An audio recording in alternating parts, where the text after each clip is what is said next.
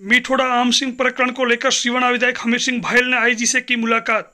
कांग्रेस नेता व पूर्व सरपंच आम सिंह मिठोड़ा हत्याकांड प्रकरण को लेकर छह दिन बाद भी पुलिस के हाथ कोई सुराग नहीं लगा है। इसको लेकर रविवार को शिवना विधायक हमीर सिंह भायल ने जोधपुर रेंज के आईजी जयनारायण शेर से मुलाकात कर कहा कि एसपी के द्वारा जल्द हत्या का राजपास करने व हत्यारों को गिरफ़्तार करने के आश्वासन पर धरना उठाया था, पर अभी तक हत्या का राजपास नहीं हो पाया है। ऐसे में आईजी से हत्या का राजपास कर हत्यारों को अतिशीघ्र गिरफ़्तार करने की मांग की है। इस दौरान जब्बर सिंह शिंदरी, पारस समदड़ी जालम सिंह मीठा, मितेश यति, संदीप अग्रवाल, निम्बाराम, खेत सिंह भाटी दिनेश राजपुरोहित, पप्पू सिंह गोलिया व भरत गर्ग भी साथ थे।